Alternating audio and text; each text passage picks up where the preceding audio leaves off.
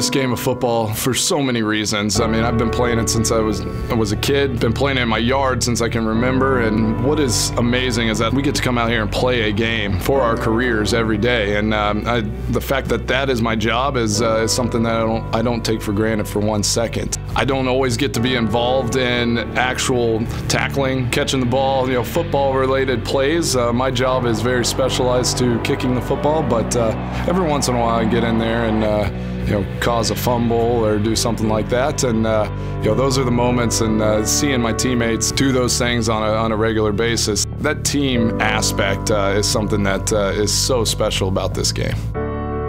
Today's TMJ4, your official Packers station.